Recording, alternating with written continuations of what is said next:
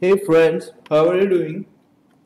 So friends, uh, today actually I bring another application of deep learning. Instead of uh, talking about the traditional object detection here, I, what I implemented, I implemented, implemented a, vehicle count, a tracking of vehicles corresponding to lane and their direction.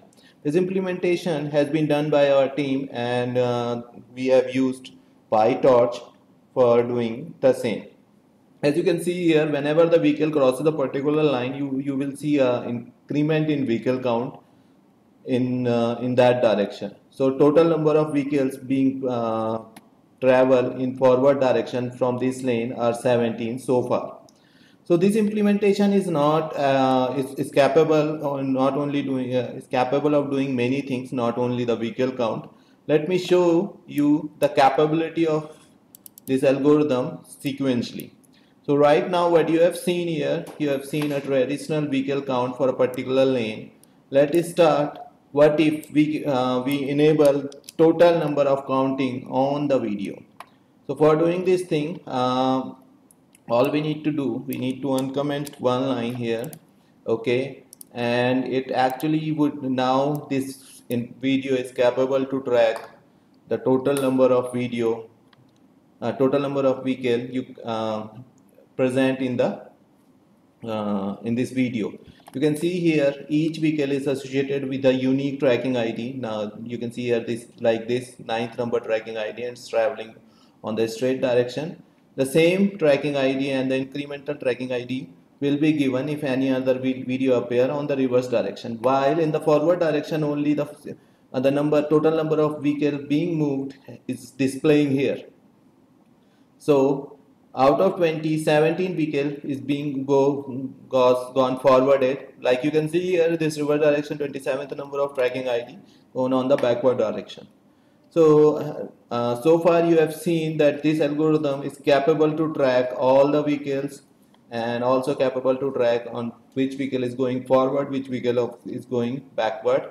Now uh, let's see uh, another you know extension of the algorithm. Let's calculate the speed of each vehicle for doing this thing all I need to do comment some lines like disable some functionality and enable other functionality. You can run every functionality simultaneously but the visualization will not so good so that's why I'm doing this. I'm enabling one functionality to show you uh, and making other one disable every every functionality will get updated corresponding to timestamp in the CSV once the recorded video is processed fully. And this implementation also work in real time uh, CCTV TV footage as well. So updated speed let's run for uh, speed detection.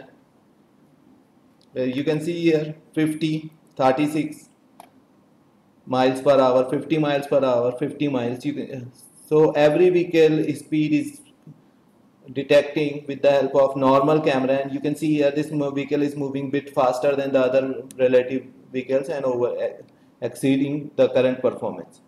So now with the help of CCTV camera you and our algorithm you would be capable to count the number of vehicle detect the speed of vehicle whether some whether a vehicle is over speeding or not and other thing as well.